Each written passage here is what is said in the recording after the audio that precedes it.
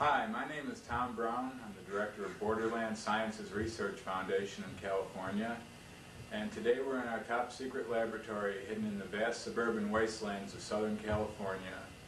And we're taking a look at Tesla's longitudinal electricity.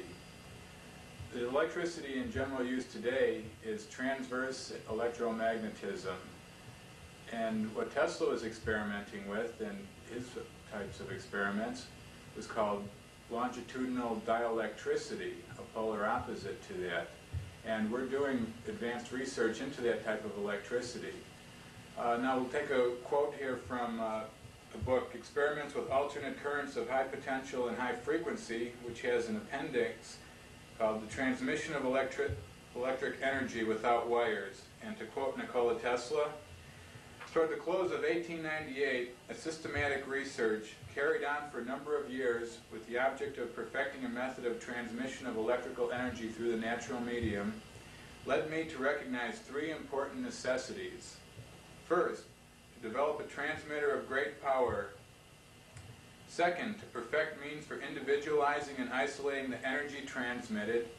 And third, to ascertain the laws of propagation of currents through the earth and atmosphere. Now, the transmission of great power was, of course, carried on by Nikola Tesla in his Colorado Springs experiments, which led to the building of the Wardenclyffe Tower, which was to transmit electrical energy around the Earth. And uh, the second point, the uh, means of individualizing the currents, was in his experiments with harmonic resonance circuits, such as you're going to see today in this video.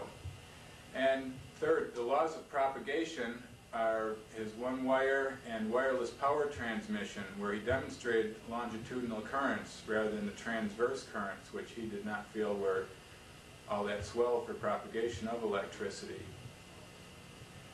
So here today we're going to see some experiments in this, and uh, now to give you an introduction to the experiments by uh, showing Tesla's patent and the schematic that we're using is Peter Lindemann, Director of Borderland Sciences.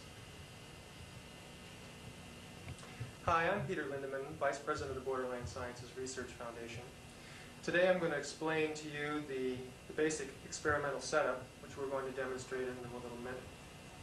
Over here we have a schematic drawing of our experimental setup. And down here, I'd like to first bring your attention to Nikola Tesla's patent number 649621, which was granted on May 15, 1900. Basically, this describes the experimental setup which we will attempt to show you today. And I'd like to describe it for you right now.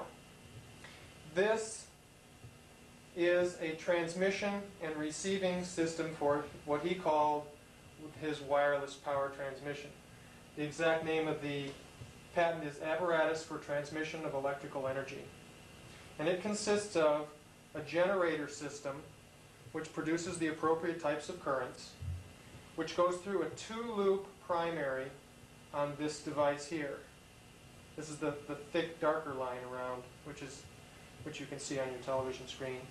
Inside here is a, a flat spiral coil, which is connected to ground at the outside of the spiral, and on the inside of the spiral is attached to what he calls the termination which in the case of um, the Colorado Springs experiment was a, a, a ball, a sphere that was high up in the air. The receiving apparatus is identical in nature, consisting of a termination,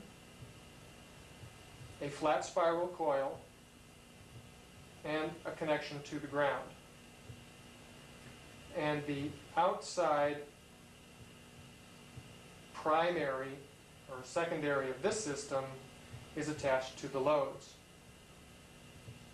So that describes the patents, the patent that Tesla was granted in 1900. Now what I'd like to do is describe for you the exact apparatus which we will be testing for you today. Our generator system consists of this much of our, of our diagram here which includes a medical Tesla coil, uh, circa 1920, which produces our supply of electrical induction. We also have a capacitor to create circulating currents in this, which is a 0.001 microfarad, 15,000 volt capacitor built by the Faradon Corporation. And we have two hydrogen spark gap tubes, 1B22 here. And this creates a negative resistance which helps to accelerate the wave. So this is what we're using to supply the appropriate currents to our primary of our coil here, which is a two-turn flat coil made out of sheet copper. This showing the two turns, just like the two turns shown in the diagram here. Our secondary is made up of, our termination in this case is a neon bulb, which acts as a plasma, which in these low power systems works better than um, a large sphere. That's connected to our flat spiral. Uh, in this case, our flat spiral is made out of Teflon coated silvered coaxial cable, of which we're just using the outside um, shielding, the silvered shielding, and not the inner um, wire, uh, because these currents um, operate primarily using what's called the, the skin effect. And then our output, which is at the, the outside of the flat spiral, our output here. And now we will run a number of experiments attaching various things to our output here, showing various behaviors. Our second apparatus is identical. It has an input at the outside of the flat spiral made out of silvered coaxial with Teflon coating on it, and going up to a second termination, and a second series resonant harmonic resonance circuit, which is tuned exactly the way our transmitter is, with two turns of flat copper sheet and connected to a second um, 0.001 microfarad capacitor um, identical to this one. And so these two primary circuits, one of which is energized, the other of which operates in harmonic resonance, makes up our circuit. We will attach loads to this output as well as putting various devices in here for the transmission of our electric currents. So this is our test setup. And now I'd like to introduce Eric Dollard, who will first show us the actual physical setup of our um, of our test apparatus today, and then we will run the experiments. Eric?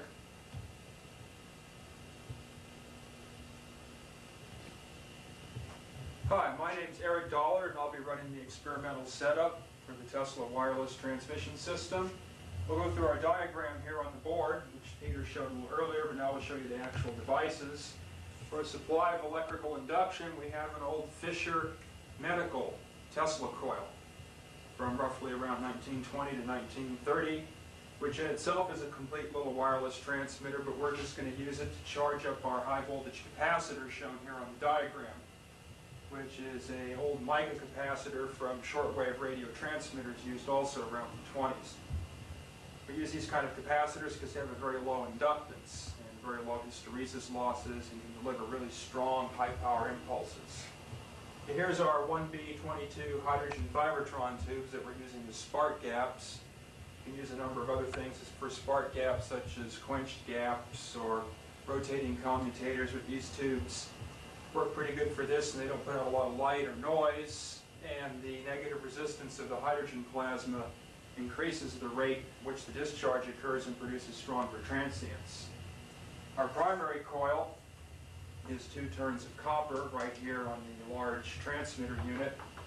Let's hold this up a little bit. You might be able to see actual strips of copper on the primary and then our secondary resonant coil. And of course, our coil is shown here on the diagram. I might not want to point out that this coil is not just a simple inductance coil, nor is this thing just a simple transformer. The inner turning capacitance plays a very important part in this coil to give it a very strong resonant frequency. And the resonant frequency of our primary oscillating circuit here is chosen to fall on one of the fundamental harmonics of resonance of this complex network of mutual inductions and capacities which the spiral makes up. And we'll go through a frequency sweep and what have you later to determine exactly what these are. Our termination is an argon bulb here at the top. And our output terminal on the outside of the spiral comes down here to a little banana plug which we can plug various things into. This coil here serves as a loading coil to help couple the energy out into the rest of the system, increase the efficiency. This basically would simulate maybe the impedance of the earth or the transmission medium in general to give the coil something to work into. Okay, to start off with, our transmission path is a simple plasma column, and then we have our conjugate receiving coil, which has exactly all the same characteristics except it's wound in the opposite direction. And it finally ends up with its final tuning capacitor, the same tune circuit as the primary, so naturally you're going to get flow between the two because of their resonance, and then we have the end result, which is a 15 watt light bulb, which will be our resistance load. We'll connect across the output here. And we'll have Tom turn the switch on, and we'll see it go.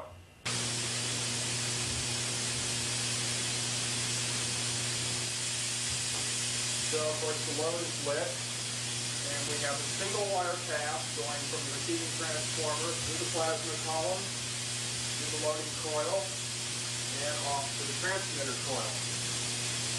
Hence the single wire method of electrical transmission.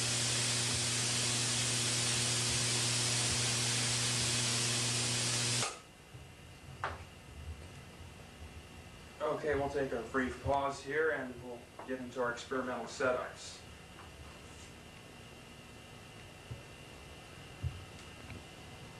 Okay, our first experiment is we'll run the light bulb conventionally in the electromagnetic fashion where the circuit is a closed loop or a true circuit.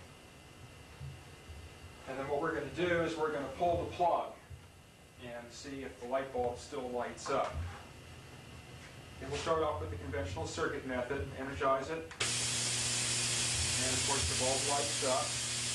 Now what we're going to do is we're going to pull the plug on the bulb. The light bulb still lights up, so we're starting to get a rather novel thing going on here. You can see the wires become quite energized. High voltage is on it.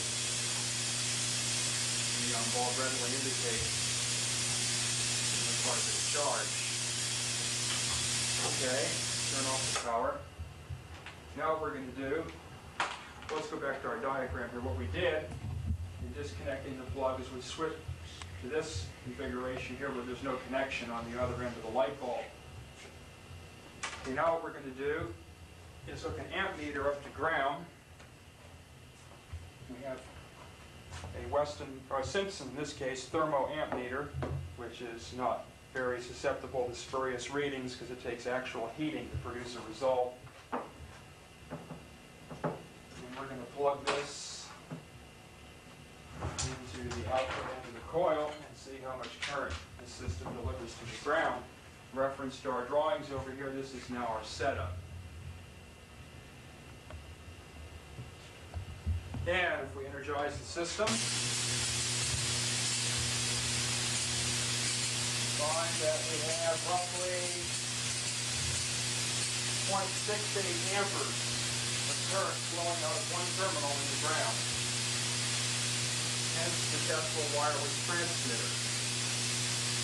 Turn off the power. Okay, and after a brief pause, we're going to go through our experiments where we hook various devices in between the two coils and see how they propagate these currents.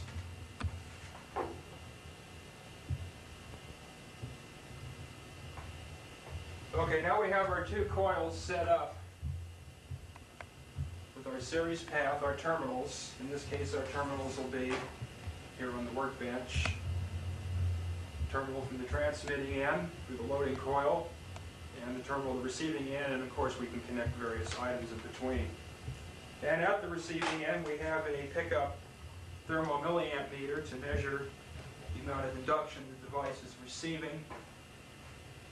And that'll be our determination of how effective each of our three items are here for the transmission of currents from the transmitter to the receiver.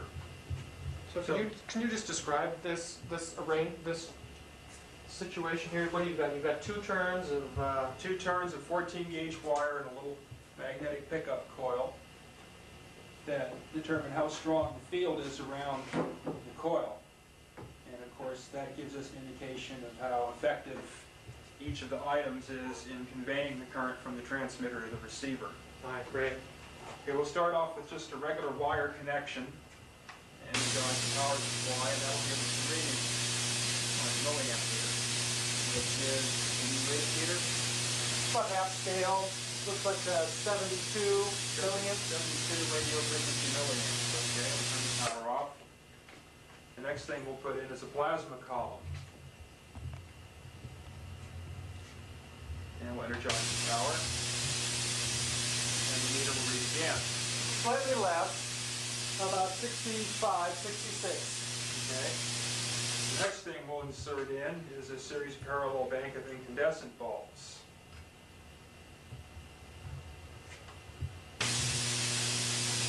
Now it's a lot lower, about 50 milliamperes. Okay, so we can see now we have a definite difference between transmission through a plasma column and transmission through what would represent an effective length of conventional transmission line, in other words, wire with resistance. Plasma column tends not to have any resistance, where the conventional transmission medium tends to exhibit resistance. And of course, in direct connection, all these factors are so small that they don't really appear. Now, what we're going to do is we're going to get into some of the effects of the illumination that comes off of these incandescent bulbs, which contain vacuum, when run off of these currents. And we're going to do a comparison between a bulb running off of 60 cycles and a bulb running off of high frequency right next to each other. And this will lead us into our second Tesla patent, which is the transmission of electricity by radiant means. And we're going to show how DC can flow through space with only one wire. So we'll take a brief break here and set up our new experimental apparatus.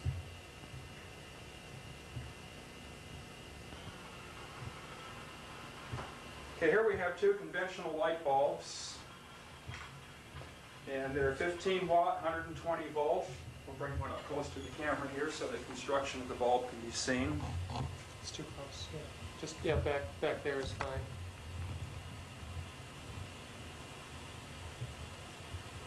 Uh, let me get a sharp focus on this. You have to go farther away. They're about there, that's fine. Yeah, so you can see the filament, it's a little uh, ring filament, that's great.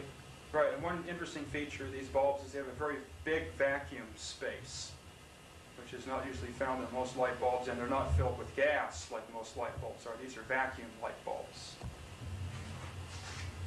So we'll have two of them here. This one and this one. One will run off of conventional 60 cycle alternating current, and the other one will run off of the longitudinal current. And we can see the brightness pretty close to the same. Now, Tom, come over and see if he experiences any difference between the light of the two bulbs. Okay, well, one thing I do notice just visually, and uh, we really can't record this because we don't have the proper detectors, but just the character of the light. This, uh, electromagnetic light transverse looks somewhat reddish to my eye, and this looks somewhat bluish. And it just feels kind of hot, like a regular bulb. But on this one here, I feel a pressure coming off, a charge and a pressure, which I felt a little shock there also. And, uh, but the character of the light is definitely different. There is a distinct pressure, and the higher up we turn the power going in, the stronger the pressure is. And uh, now we'll give uh, another demonstration which shows another characteristic of this opposite to the pressure. Okay, one other thing I'd like to point out is the fact that this situation over here is very stable and quiet. We have, according to the Variac, 115 volts across the bulb. This light bulb here, the socket is arcing over inside. indicating there's several thousand volts across the bulb. So we can start to see some difference happening here. Now what happens is when you have gas in the bulb, as well as the filament, this very high voltage that appears across the bulb energizes the gas, and you end up with what would be a full spectrum light bulb, which still retains its incandescent characteristics. But these bulbs being vacuum, we can't really fully demonstrate this. Now what we're going to do next is we're going to, we have a force coming off the bulb, then we can study this force. And what we'll do is turn the power off for a second here, and we have a little piece of copper strip dangling from insulated tape. Let me just center this up here a little bit. I can. No, it's gotta be lower. Why not?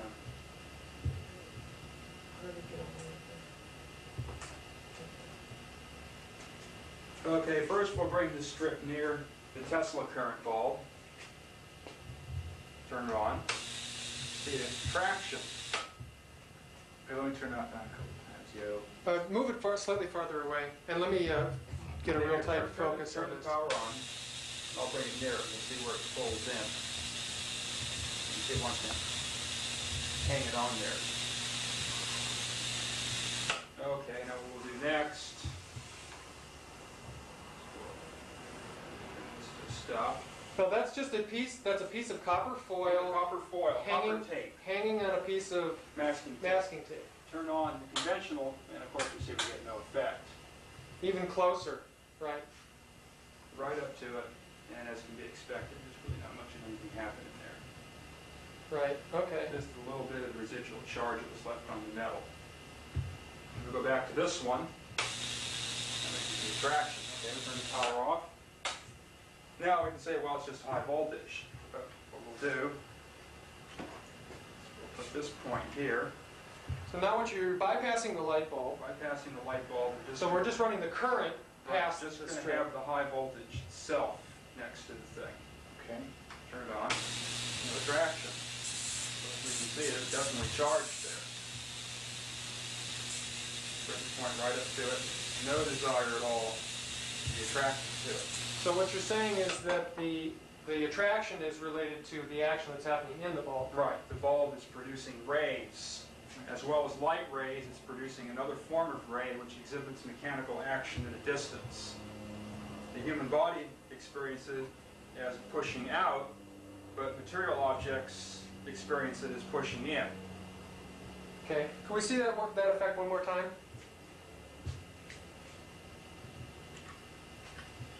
Let me start with it just a little bit farther away. We can turn this just so the camera, an idea. And let me just focus right tight in there. Okay, Ready? pulls it right in. Here it goes. Okay, now what this does is bring us to a whole new area of Tesla's wireless power transmission, which we'll get into into part two. And we'll go back to the original patent and start out from there. So we'll take a brief break here.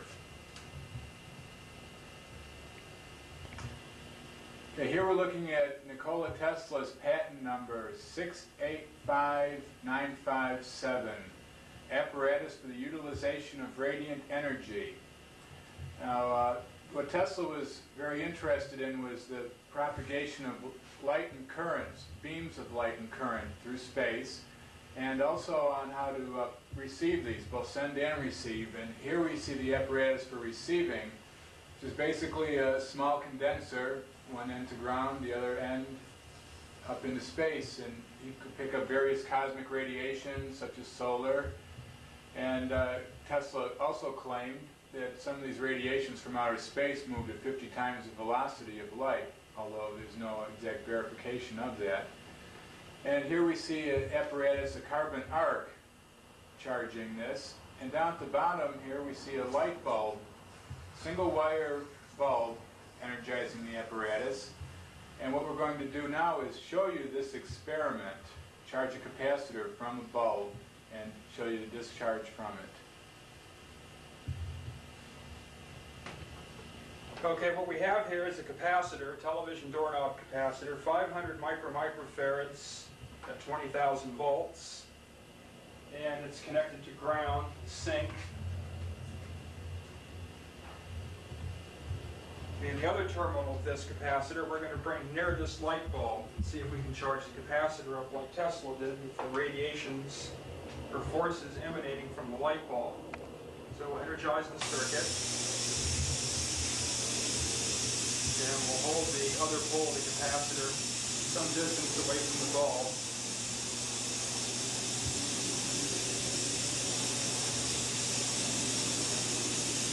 Okay, let's see if we get a charge on it. We have a small neon bulb here. Capacitor seems to want to go away.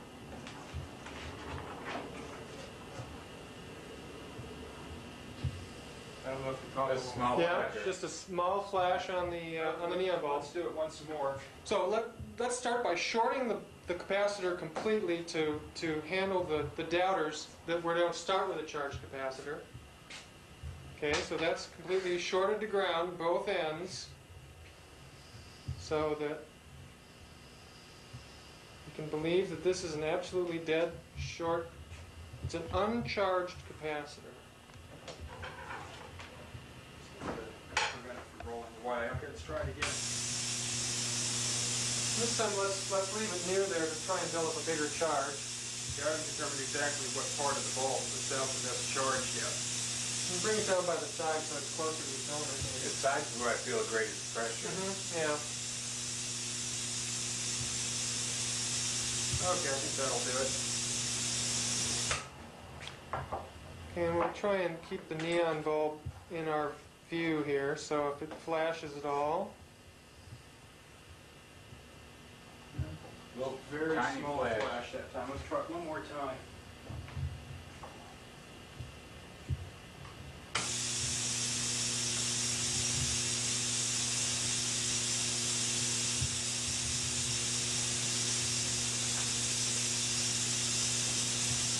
Okay, try it again. One time I got a very large snap out of it. Yeah, there. There we go. Pop. Okay. Okay, so what it wants is to be held one more spot, or one particular spot, not moved around. This indicates the charge is different in different directions.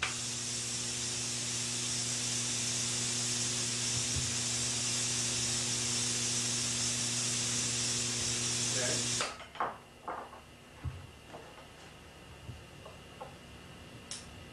Now, now what we should do is bring it near the wire, or one of the hot points around here, and make sure it's not just the electricity itself that's charging it up. Corona there, getting the currents are flowing to the capacitor.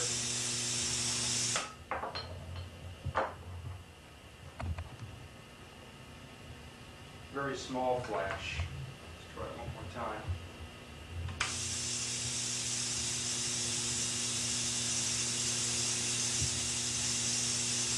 Corona is going to cause a certain amount of rectification because it's an electrical conductor, so we will expect a small charge to exist on the capacitor. Now we'll go back to the light bulb.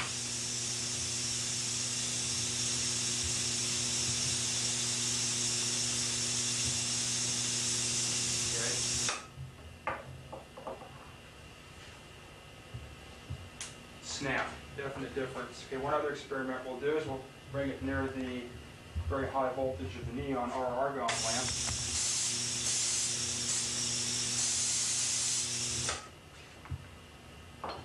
And there'll be some residual charge, I'm sure, but no snap. And we'll go back one more time. The light bulb.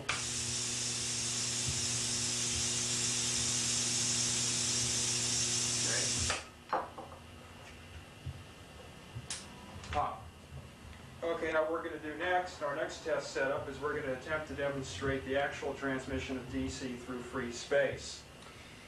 So basically what we've just seen here is that um, fairly conventional light bulbs produce radiations which are not uh, seen when the same devices are run on ordinary 60 cycle AC That's electromagnetism. Right. But what's involved here is what are called impulse currents, and we, we usually use are alternating currents. Uh-huh. So there's a distinct difference. Mhm. Now, how is this related to, uh, like, the types of energy that runs in your body? Well, that's a good question.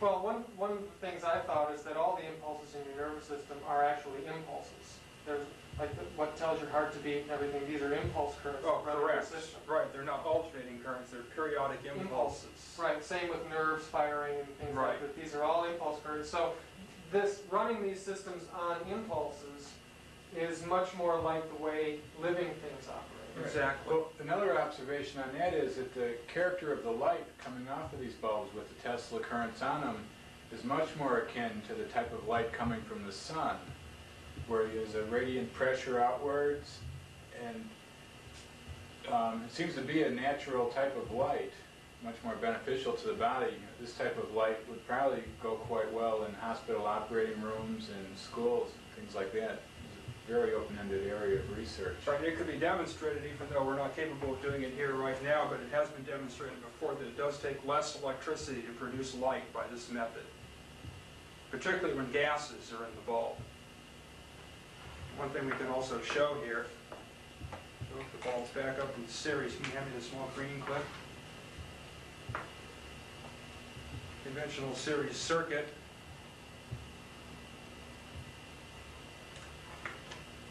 Going back to our original demonstration where we pulled the plugs, we'll do that again, we'll turn the power on. Okay, see the bulbs light up, of course they're all in the series path. You notice one starts off a little brighter than the other. Okay, turn the thing off, on. And of course, the light bulbs still light up. And we don't feel the pressure quite as strong around it now. The intensity of the filament is not as great. It's definitely there. We'll do a quick capacitor charge off of that, and then we'll get into the next part of our experiment. Oh, it's a little bit less sun, even though the voltage is higher.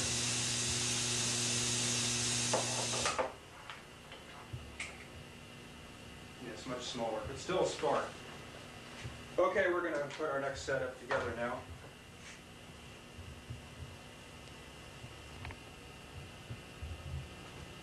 Okay, we have our next test set up here. We'll start with uh, our electrostatic voltmeter, which is a unbled MOSFET input going to a bridge amplifier, which will read out on our center scale voltmeter. And that connects to our antenna here and ground, is down here underneath.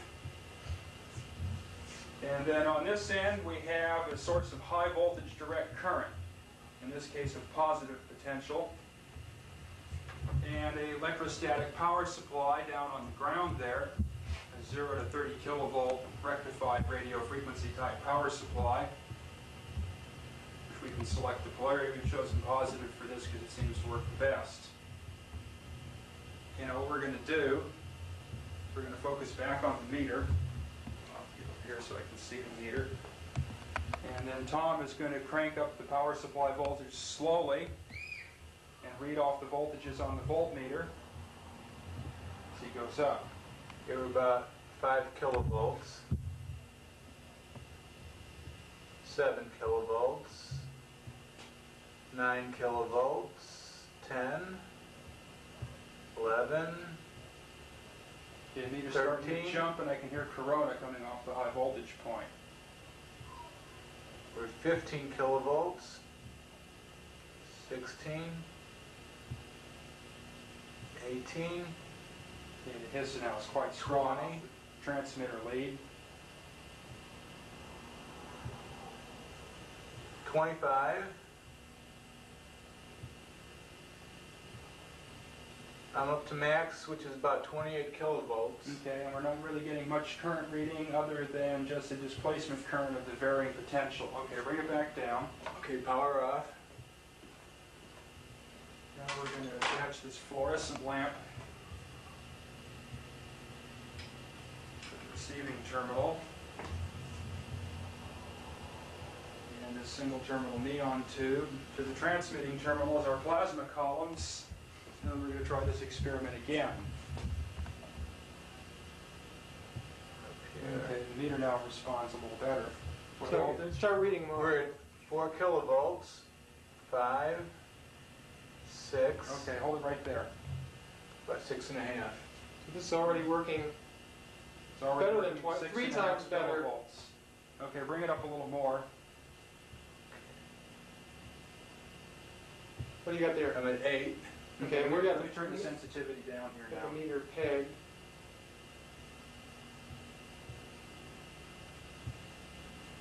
Okay, let's just hold it right there for a second. So now the meter stands, even though there's no variation in potential, current propagation still exists.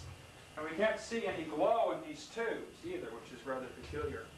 It's a dark Now, discharge. You walking behind there made the meter swing the opposite direction. So do that again. Put your hand, put. Okay, that doesn't change it. Oh yeah, it changes its. Motion. Well, by motion in the electrostatic field, of course, it's Right. going to introduce alternating currents. Now, now it just swing, swung over to the opposite side, It's holding. and it's holding. So back away again.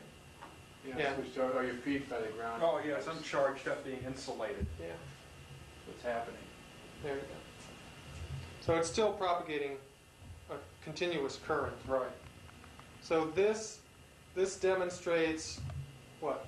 The wireless, This represents what Tesla was thinking about transmitting DC through space. DC through space. Right, and using the appropriate asymmetrical impulse currents at the transmitter end and synchronous converter at the receiver end, one can get very effective transmission through space of DC, which we indicated already existed close to the light bulb at the Mhm. television doorknob capacitor.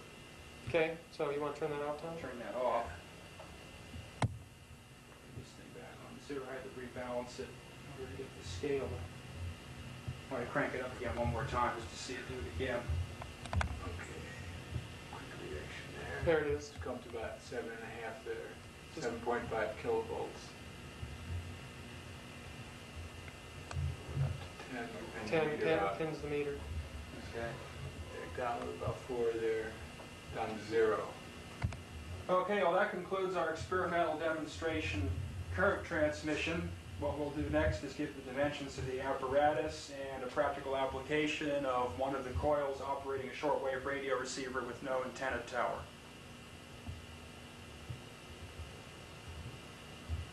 So this pretty much vindicates Tesla's patents. A lot of people have taken a look at these patents and, and thought that this was all fairly novel and interesting, but I've never seen anybody duplicate these experiments before. Have you? Besides right here in this No. laboratory? No, because no one is really building the apparatus the way Tesla intended, and also everyone tries to explain it away with conventional laws of physics. Hmm. So how, what would be a, a, a conventional way of explaining this away? Well, would be that ions are being carried from here to here, but we saw even when we had a heavy corona on the point, we didn't get a continuous current reading on the meter. Okay, now we found earlier, and we were not able to duplicate it this time, probably due to the severe humidity in the room, that even with no tube hooked up, you will reach a certain threshold where the meter will read. Mm-hmm. And Tesla pointed out that when you exceed a potential gradient of 12 million volts per centimeter, okay, in this case it's kilovolts per millimeter of curvature to get the same quantity, Mm-hmm. that current would flow through space and propagate outwards, building up a conductive media behind it. And he had figured this way he could tunnel a path between the transmitter and receiver to carry direct current or impulse currents. Mm-hmm. But not alternating currents. Not alternating currents. He didn't plan to do it with alternating currents, it'd be impulse currents. Most of his work is with impulse and oscillating currents. The limiting case of an oscillating current with no dampening being an alternating current, and the limiting case of an impulse current with no decay factor to it or rise or fall would be a direct current. So impulse currents and oscillating currents are what Tesla was working with, and what we utilize are direct currents and alternating currents. So there's a distinct difference, all four of those being the general number of, you know, four currents, general currents Mm-hmm. of existence.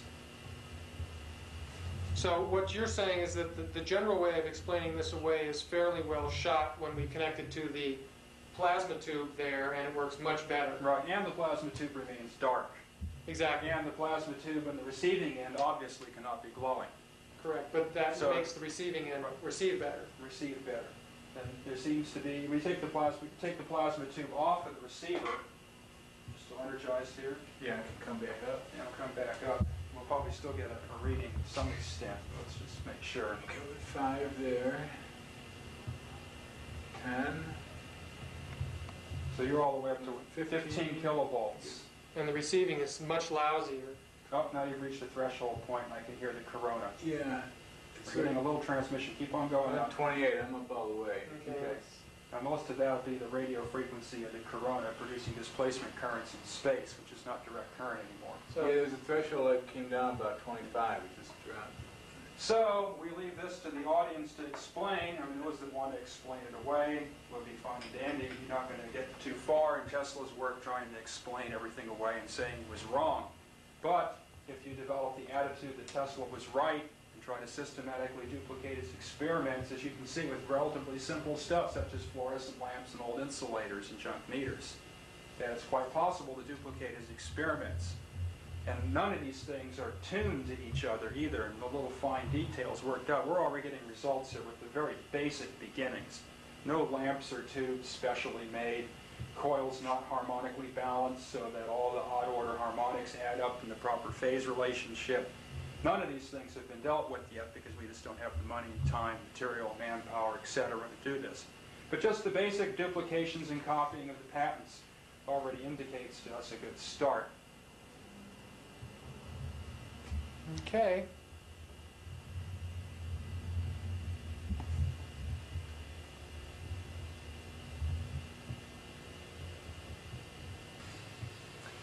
For those of you who are interested in duplicating any of this research, I'd like to describe for you the construction of the coils that we've been testing. Over here, we have one of the Tesla coil apparatus built by Eric Dollard facing up. And I'd like to just describe for you its actual construction. Here,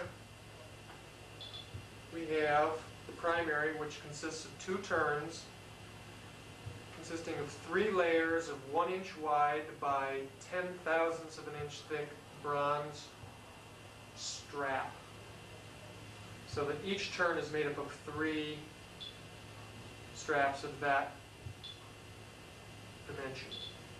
The secondary, which begins here, or at the output, and ends here at the termination, consists of 20 turns to here, and then another half turn around here of Teflon coated silvered coaxial cable, which is approximately 85 thousandths of an inch in diameter. The outside dimension of this, of this secondary coil is approximately 18 inches, and the inside diameter is approximately 13 and a half inches.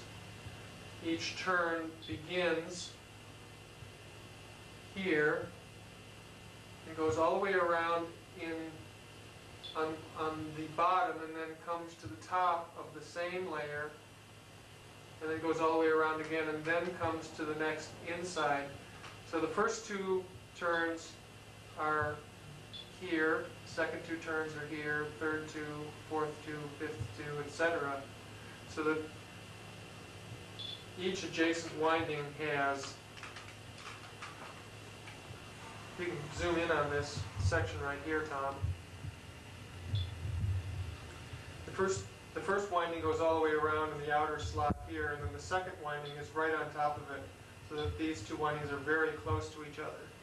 Then when it comes around to here again, the, that moves to the, the next inside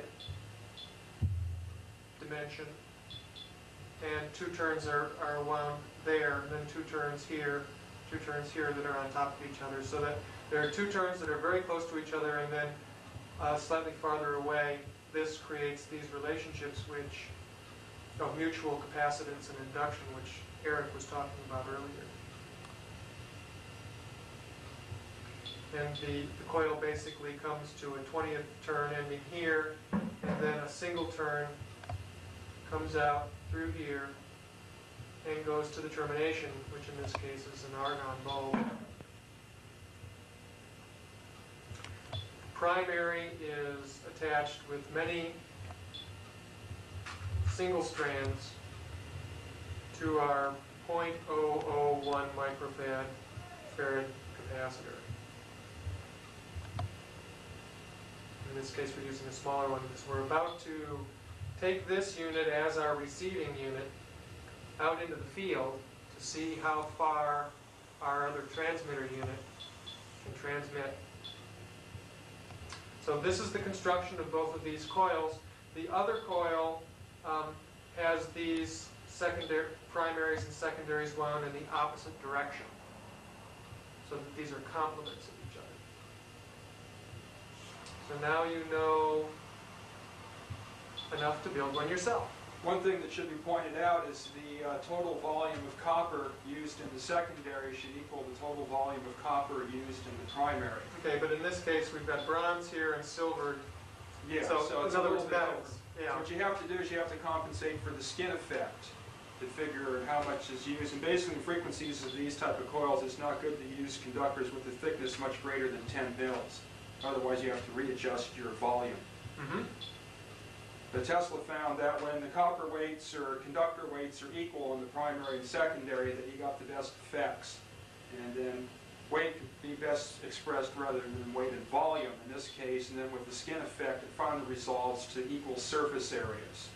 The uh, surface area, the surface area of the primary equals to the surface area, the effective surface area. Yeah, that's, that's what eventually you would strive for, but it's the simplest way to do it is by volume. Mhm. And these are designed on a per volume basis, equal primary and secondary volume of copper. The reason that all the little wires are used to connect to the capacitor is to eliminate the skin effect and reduce the uh, stray inductance in that area. So that the magnetism stays Stays inside the coil. enclosed loop around. Could you hold that up so we can show how it's connected onto the capacitor? It's not real clear. Can you tilt the thing up maybe? Yeah. Okay. And focus in So even though the currents Okay. and voltages might be small in the receiving coil, you still have to use high voltage and high current apparatus to keep the uh, resonant frequency sharp. It's very important that the effective resistance of all this be kept very low. That's the reason for using sheet copper or multiple strands of smaller conductors. You might want to tilt the thing up sideways and show how the yardsticks were notched and the insulating loop that holds it up to give the experimenter an idea. I do mechanical construction. Okay, get a pretty good shot of the notches there.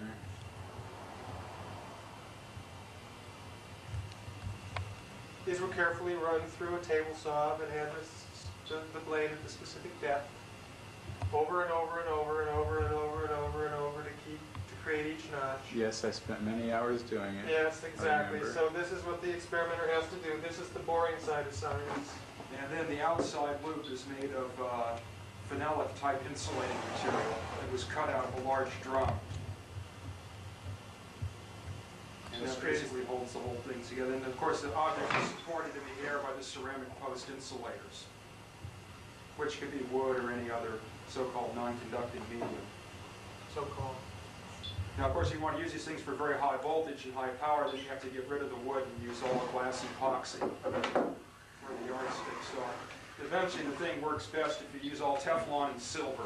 Those are basically the two materials to use in the construction of all this is Teflon and silver. Yeah, because Teflon doesn't break down and Right, and it does punch through, it won't crack or melt. And the silver doesn't corrode and offers the uh, best reflectivity, but then of course the skin effect is going to have to be compensated for, and the silver strands that have to be thinner. That's one of the reasons for using the Teflon insulated coax, because they can't put the Teflon on the wire until they silver it because of the corrosive gases that are formed. So it makes it perfect for this. And of course, because of the skin effect, there's no need to have any metal on the inside, so the inside wire of the coax is never used. If anybody wants to duplicate these experiments and has any questions, just write to Borderland Sciences Research Foundation.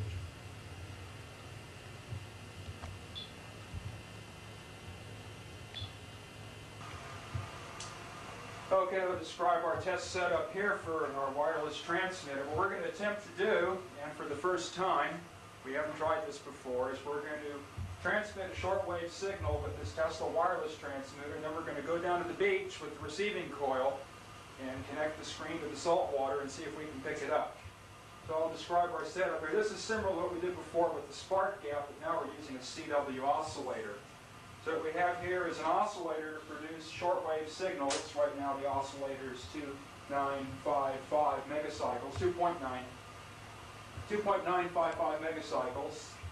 And the oscillator connects to a push-pull cathode follower, which delivers a push-pull output that we're connecting across our primary arrangement, this being our main capacitor here. Okay, we have an RF milliamp meter here, 0 to 100 milliamps, with a shunt across it to multiply it by 2. And that connects to the neutral lead of the coil, which is right here. You might want to zoom in on that so we can see that the coil actually comes off there. The capacitor out of the way here. Okay. You see the final turn, the beginning turn, depending upon how you look at it, the coil comes around, connects to the neutral lead. The other end of the coil, in the middle here, comes up and connects to the neon bulb. You see the neon bulb is lit. Even though the video seems to make it look like it's lit all the time. So what we'll do is we're going to sweep through. Okay, let me point out that the meter again is connected to the sink. You might want to sweep over and show Okay. it's grounded to the sink. Okay, there's a sink. Get the lead up so we can see. It's actually Okay. connected. We now know that it's connected to the sink. Now ideally, the coil should be very close to the ground and connected to a zero inductance grounding system, in other words, a plane. But we have to use this lead for now on the bench here, so that introduces some stray inductance and throws the frequency off. You know, we're going to sweep through here. We'll start down the bottom of the band.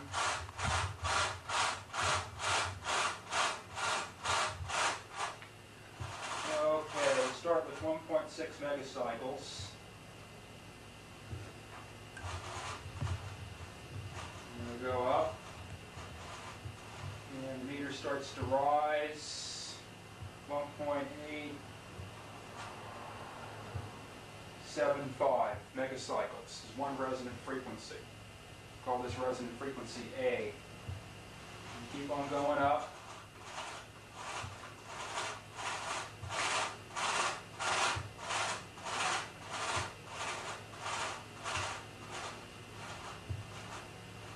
The meter rises very sharply on this one to back to the 2.945.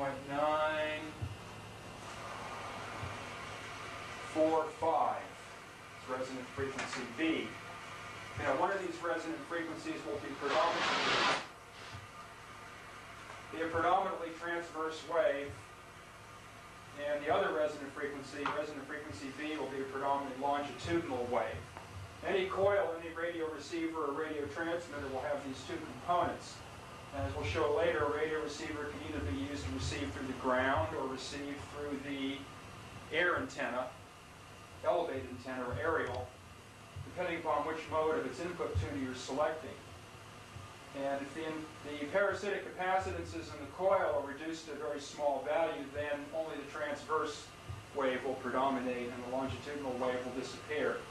What we're using here is capacitances in the coil to produce these effects. These double frequencies indicate that there's four constants involved, two inductance and two capacitance constants giving a, a quadrature or four-pole equation that will give us a pair of resonant frequencies as we can see on this. Now ideally the coil should be balanced so these frequencies fall together and has only one resonant frequency, but no mathematics exists for this as of yet. And we don't know if Tesla figured this out or not. His mathematics was also very poor at the time, so he had to do it purely by empirical and experimental means. But he had the time and dollars to do it. His beginning work, and he probably achieved this, which should magnify the effect several thousand times. Okay, we're going to show our shortwave radio here. We have a small Army unit. 2 to If you tilt it up and get a little light on it. 2 to 12 megacycle receiver. Runs off the Focus batteries. in here. So we have no ground connection or 60 cycle noise problem to worry about. We can take the surround battery packs in here. It's a vacuum tube receiver. And this is, we have the leads brought up that connect to our antenna input transformer, which will connect to the receiving coil. Now what we can do right now, the receiving coil's right here. Up for calibration purposes. So you can hear our transmitter on location here, to spot our frequency. So I'm going to put the receiver across the capacitor. Take our neutral terminal and just bring it out a little bit for now to set up impedance reduction at that terminal.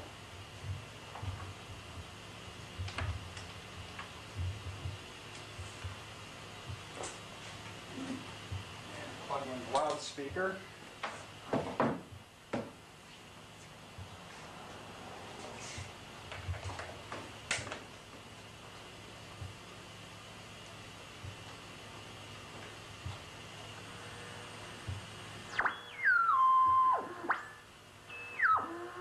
And we're reading on 2-9.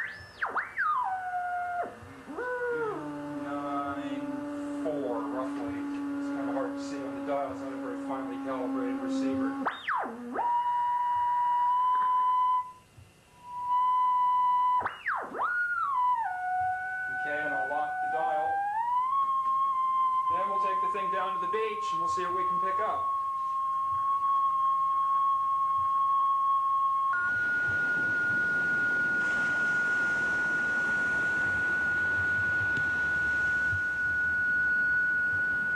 Okay, what we're starting with here is we have a copper screen sitting in the salt water.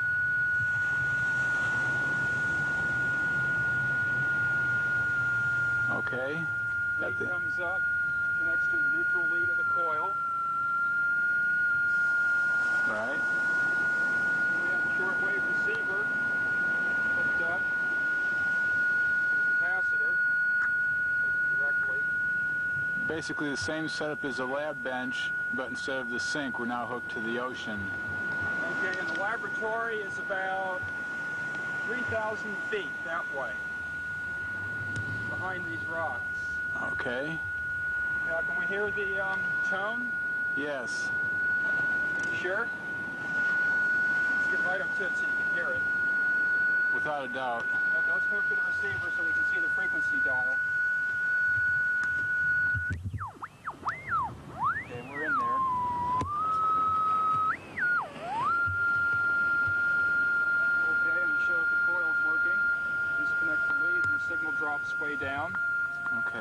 Back off here and get a full shot like these.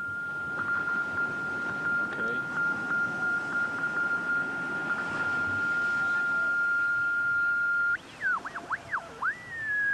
So I think that pretty much demonstrates what's going on here.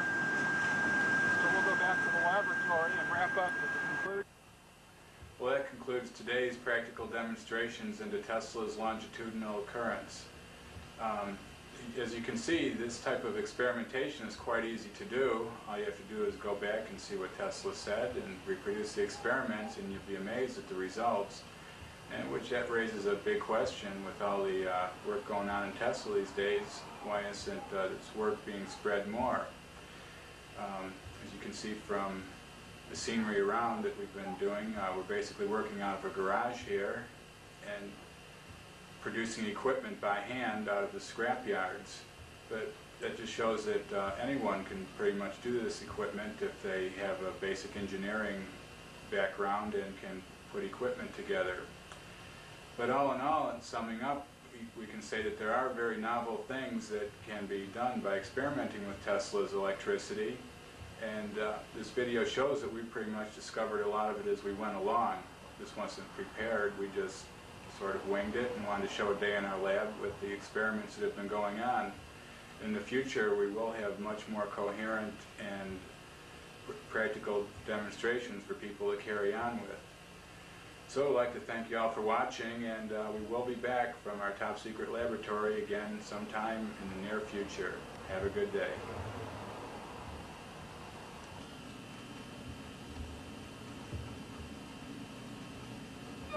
Thank you.